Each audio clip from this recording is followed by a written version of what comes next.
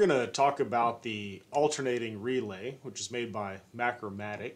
Uh, it's used in a ton of commercial and industrial applications. Uh, specifically is septic system, where we're using duplex pumps or two pumps.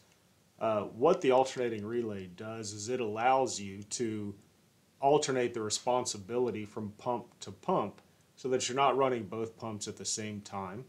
Uh, allows you to take one out of service for maintenance or repairs if you need to, uh, or just to, to lock one in and use one side because of runtime or hours or whatever your reason may be. Uh, but most normal applications, it's set to set to alternate, uh, and then in those circumstances that, that we just discussed, you're going to lock one in or the other. So that's accomplished by the switch that's located on the, the top of the alternating relay. If you can get a view of it. So the, the load one, and there's an LED next to it. There's load two down here. There's a LED next to it. And when that LED is lit, that tells you that, that load is now powered or energized. Uh, this does allow you to move the toggle switch and place it to lock in load one or move it all the way down to lock in load two. Uh, most applications, again, are going to stay in alternate.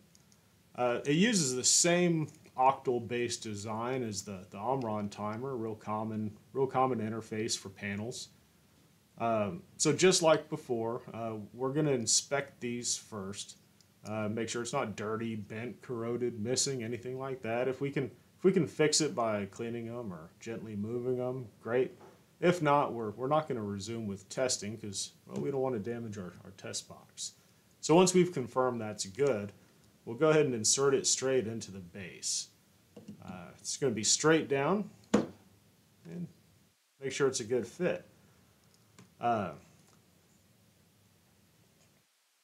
so right now it's in it's in load one. It's uh, it's prepared to go.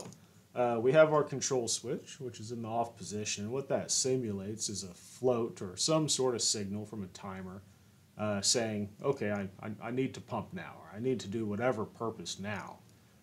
Uh, so being an alternate, once we turn this switch on, we're going to see that power turn on between load 1 and load 2. So we'll go ahead and we'll turn that on. So we're in load one, and we now have 120 volts. Uh, and it's going to stay in this condition until that float or that timer or whatever device it is tells it to stop.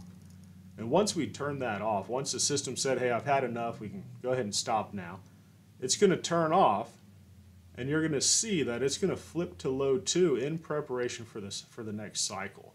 So we'll do that now. We're going to turn it off. We've lost voltage and now it's it's sitting in load two instead of load one, and it's it's in standby. It's it's it's ready for the next next cycle.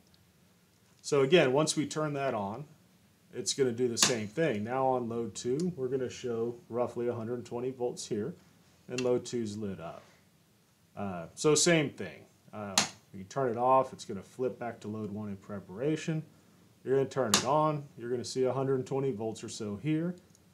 Uh, and that's basically how it works. So I'll show you how it works when you lock in a load. So now we're, it's already in load two. If you lock in load two, or yeah, lock in load two, sorry.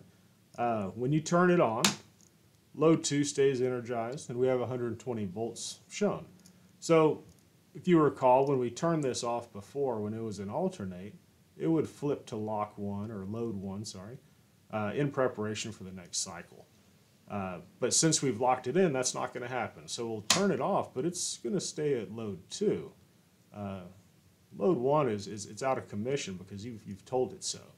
So when we turn it back on, it's going to be the same thing. We see voltage on load 2, and it's just going to stay there. And the exact same thing happens if you lock in load 1. It's going to just cycle load 1 on and off and leave 2 out of it.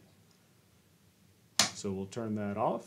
And that concludes the test of it. If you have any questions, reach out to your manager and they'll get you sorted out.